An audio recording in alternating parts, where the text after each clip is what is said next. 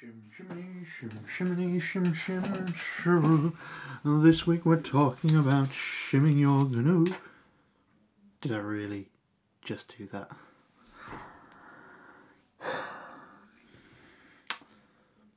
Roll the intro. I'm just going to start off by saying that this was actually a subscriber requested video.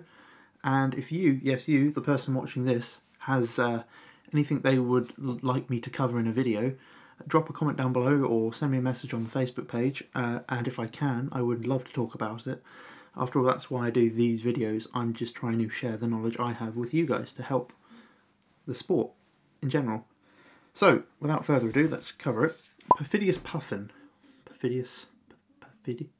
Perfidious Puffin uh, messaged, well, put a comment on the last video uh, asking about a shimming video uh, because uh, he's been trying to learn teching by building his own gun from scratch.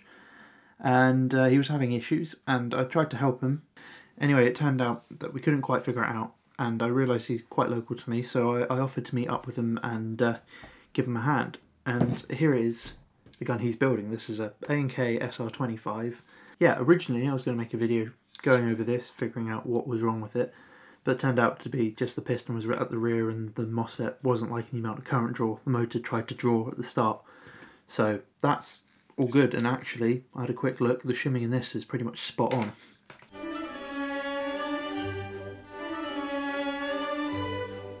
Well, shimming is the act of adding little shims around the gear axles to nudge them up and down slightly within the gearbox to uh, help align them so that they mesh nicely both with each other and the piston and the motor.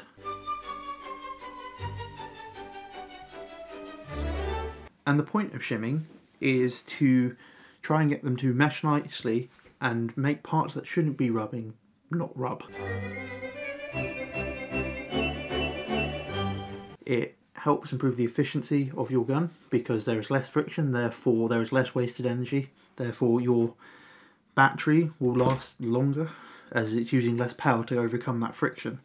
It will also help improve the longevity of the parts. Again, they're only meshing where they should be meshing and there isn't parts that shouldn't be rubbing together, rubbing together. So uh, less parts getting worn down. You can alter the sound your gun makes uh, and uh, it should make it sound nicer, less grindy. It can, in some cases, slightly boost your rate of fire, although that's not necessarily why people shim. Now the technique I'm going to go over today doesn't just apply to V2s, you can use it for any gearbox really. It's just a case of following through the steps to try and get the gears to mesh nicely together. And I will say that there, there's no real right way to shim a gearbox, but there are wrong ways to shim a gearbox. Uh, so this is just my way of doing it. seems to work for me, uh, and has worked for me for at least five years now. So uh, without further ado, let's crack on. So here it is. Here is the uh, V2 gearbox out of my um, G&G MP5. And well, it's just a basic V2 gearbox. So we're going to be using the rocket shims. Um, it doesn't really matter what shims you use, they all do the same job. You can get different packs with different thicknesses in. This is going to be a mix of thicknesses, which is good. You do want a couple of different thicknesses so you can uh, vary them. Mainly if you've got a shim a lot, if you've got a lot of wobble, you can put bigger shims in, and then if you just need to fine tweak it, you can use the thinner shims to do that. Right, so that's the gearbox open. So let's quickly run through it. You've got your bevel gear. You've got an anti-reversal latch. These are your compression parts. We're not worrying about these today. Put those to one side. You've got your sector gear. And you've got your spur gear. So the process of shimming is, well, you put the gear in Know I'm doing this without any shims on, but effectively you put your gear into your gearbox casing and initially you can just hold it closed with no uh, with no screws in but you will need to do some screwing in a bit and just see if there's much play in the gear, of which there is. When you see this gear in here has tons of play. That's probably two mil of play.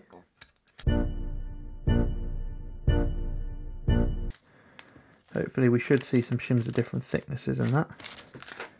So as far as I can tell, the silver ones I've got here are 0.2 mil thick and the kind of copper looking ones, brass looking ones are 0.1 mil thick. So what I'm going to do is start off by using the 0.2s because I know there's a lot of play in it and we'll work our way up and then once we get close to being there we will start switching out 0.2 to pairs of 0.1 so we can move them around and get it perfectly in line. We'll start off with one shim on each side of the gear and initially we're just going to hand hold it closed.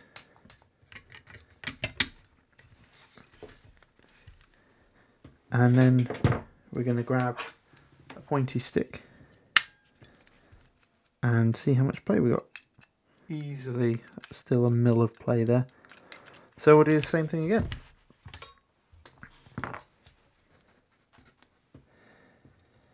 Now I could add them on both sides, but for speed you can just add them on the top and then move them around afterwards. So again, I've closed it up. I'm just hand holding it closed at the moment.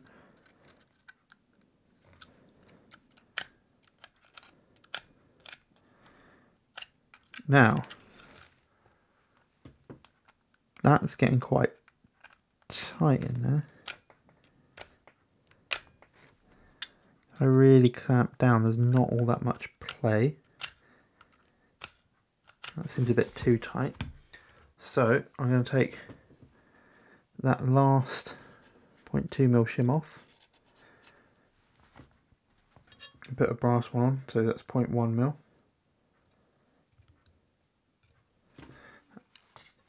And see how that goes.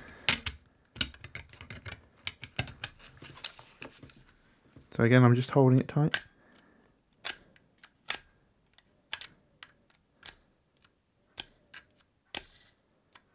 That seems to have a bit more freedom to spin, not too much play in it, so that's looking good. Now, you can't just hold the case closed because your hands aren't putting the same types of pressure on that your screws will be putting it on. So we're going to put in these three screws, which are the three screws that are around the um, around the gear parts. I'm going to tighten those down as if we're putting the gun back together properly. That seems to spin quite well, although it does feel a wee bit tight. But that might be it rubbing on the bottom. So what I'm going to do, so we're going to take that brass washer there and put it on there. Right, so there's not too much play in that gear, that's good and it happily spins, which is what we were looking for. So we know we need at least 0.3 mil on the bottom of it to shift it up enough.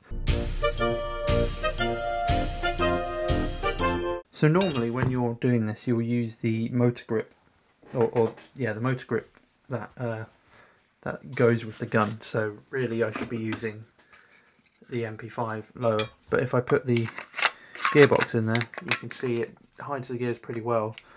So it's kind of hard for me to show you what's going on. I mean, you can, as a person, you can look and see how the meshing's going, but it's quite hard to show on camera. So for this case, we're going to be using an M4 pistol grip that I have, uh, which is quite handy. Um, just so you can see, be able to show you how, how the meshing should go.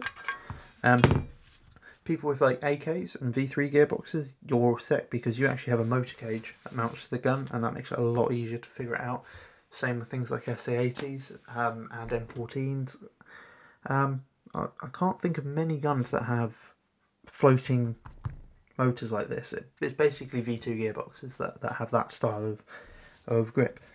Right, so I've attached the uh, pistol grip to the gearbox shell um, and I've put our bevel gear in I've got a mo motor in there and I'm just going to put the motor cap on. Now normally you would tighten this down, but I appear to be missing the two bolts for this motor cap. You big daft cock. What you're looking to do is to look into this gap here and make sure that your bevel and pinion gear are meshing well, which they appear to do, and then you're looking to see that your bevel gear isn't able to twist it all without rubbing or without trying to turn the pinion gear, which this one is. And most importantly, you want to make sure that your pinion gear and your bevel gear are not going to rub on the anti-reversal latch against the top of the pinion. It may work perfectly well outside of the gun, but in, especially in the case of M4s and well AR rifles, if you then put this onto your uh, once you reinstall this into your uh, receivers, the uh, pistol grip might not go into exactly the same place and alignment with the gearbox, so everything will be slightly off. So you will still have to adjust your motor height at the end. Spur gear, exactly the same process as before. Um, with the uh, bevel gear, we are going to start off by just shimming this so it fits and spins in the case freely. So I'm going to speed through that. One thing to note, there isn't really any great access to test and spin it, but you can come in through where the cylinder normally sits and flick it.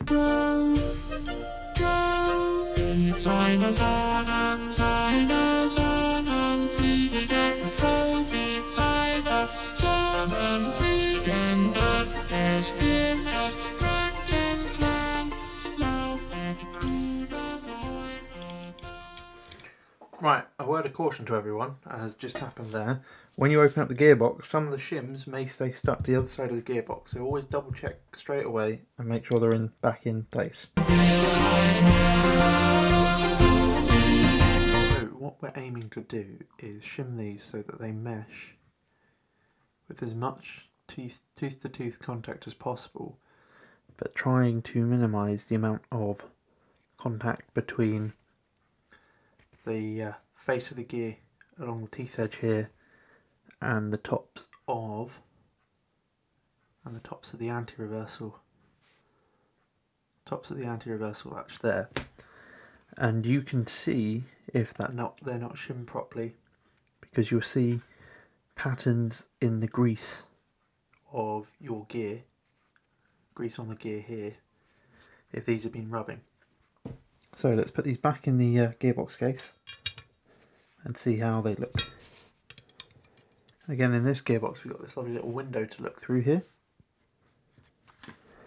But you've also got points like through your motor motor hole and also looking down through where your cylinder is. Hmm. As you see the spur gear is sitting a bit high compared to the bevel gear, so what we're going to do is move some shims onto the top of the what is the top of the gear in this orientation. And this should help shim it down. So we're going to move, I'm going to start, I'm going to go bold and move 0.4 mil across. And leave just one single point two on the bottom of the gear. And that to me is already looking a bit better although I feel like that might be too low now best way to tell is let's put it together just finger holding it and I'm going to try and spin the gear and see how it sounds try doing it this way around I think it might be rubbing. So I'm just going to let's gear off.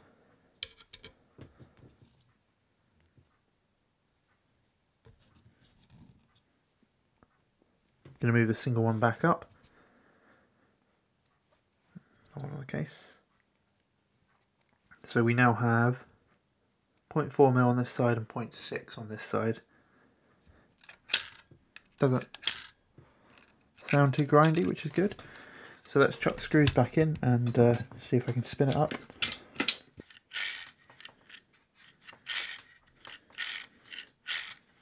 So that sounds a bit grindy. Now one of the things I do when I'm checking my gears is I make sure I check them at various different angles. So, because uh, obviously no shimming's perfect, so there will be a slight amount of movement.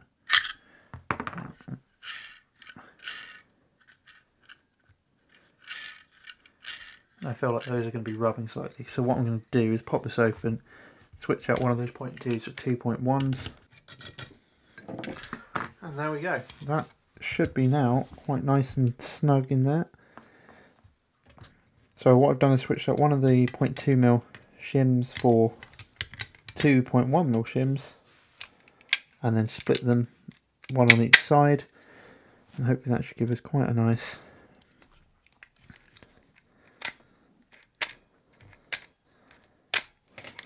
quite a nice little mesh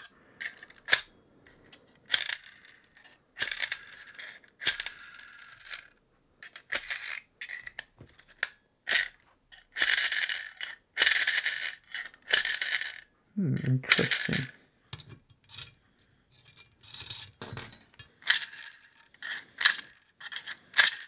Yep, that's sounding good. Just do the final check.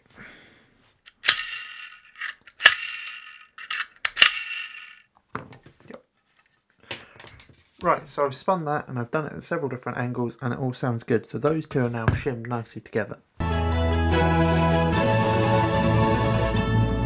So, uh, pro tip, if you uh, want to make sure that your shims that you're using stay on the gears while they're uh, out, is just grab a bit of like uh, thick silicone grease, which I don't have to hand at the moment, or something like thick gun grease here, and just dab a bit on each end, and that'll just kind of stop them sliding off as easily.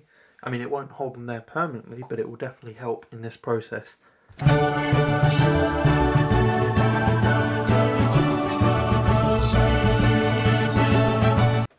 Going to repeat the steps again for the sector gear and get this shimmed up nicely within the gearbox. So again, let's...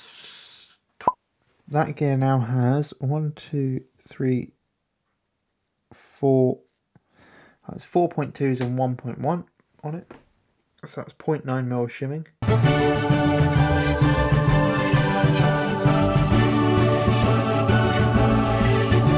As before, we're going to reintroduce the previous gear, which in this case is the spur gear. Now we're going to adjust the shimming again to make sure that these mesh nicely but nothing rubs.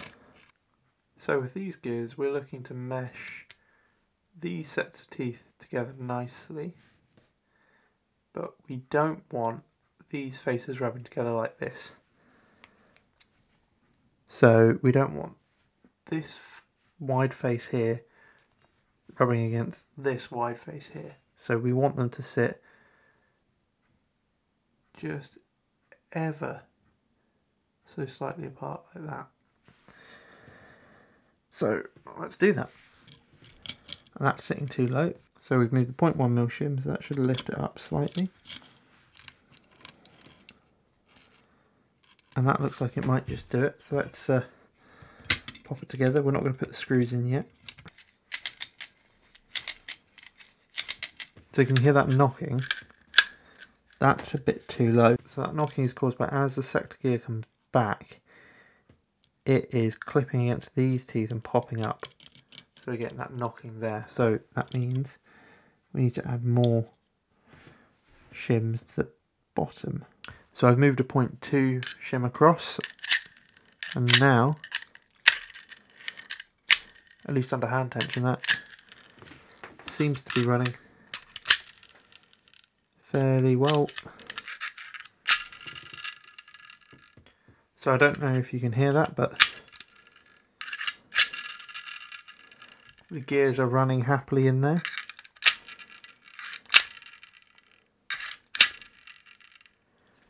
No matter what angle I hold them at, they seem to run fine. No grinding noises. Most of the noise you can actually hear will be the the motor uh, gear shaft rubbing in the bushings a bit. You can quiet that down by uh, making sure those are thoroughly greased before final reassembly to help with that.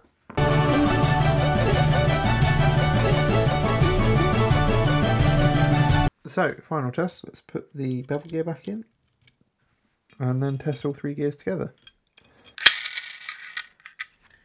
And lo and behold, the gears seem to run fine. and that is that. That is your gear shimmed. So uh, hopefully that's helped. Oh, and notice I haven't shown you any videos of me shooting it. and being like, oh, listen to the sound difference. The reason for that is m- camera mics will just peak out when you ri- cycle a gun, and you're not really going to hear the difference. But you should hear manually, audibly, analog style with Mark One ears. You should be able to hear a significant difference between a well gun and a not well gun because you should be getting much nicer meshing, and you shouldn't be getting a, a grinding sound. And speaking of grinding sounds, that's how you adjust your motor. Um, you've got a rough height set from from the process. However, not all guns lend themselves to be easily uh, able to shim that way, like an MP5, because it's hard to see in there. Um, and you will need to fine tune it. So the way I fine tune guns uh, when I've when I've shimmed them is put it into semi-auto, fire a shot, listen to it, wind it in a quarter of a turn, fire a shot, listen to it, wind it in a quarter of a turn, fire a shot, listen to it. And if that gets worse, then I will wind back and then start winding back quarters of turns to try and find a sweet spot. And you'll you'll hear it. You'll go go from a screechy, grindy sound, and then it'll, it'll start getting a bit smoother. It'll get smooth, and then it'll start getting screechy again. And then you just back it off until you find that kind of smooth point where it, it just sounds. You just get your kind of bump, bump, and you don't get the kind of eh, bump, eh, bump, which is it grinding away. And once you find that, that is it done. That is you shimmed.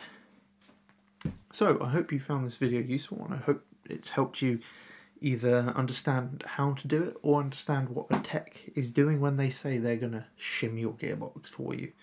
Because a lot of techs will just throw words out there like I'm gonna shim it, I'm hop, R hop it, gonna reseal it all, give it general service. Now that hopefully will help you understand what's going on. If you like this video, drop a like and maybe a comment down below. If you've got a video idea that you would like me to look into or uh, a topic you'd like me to look into, again, let me know and I'll be more than happy to try and check it out for you. Um, please, a subscription would mean the world to me. I, I'm doing this all to try and help you, and the more of you that subscribe, the more you can see what's going on and follow all the stupid projects I'm doing or the tips and tricks that I'm giving out. So, I'll see you guys in the next one.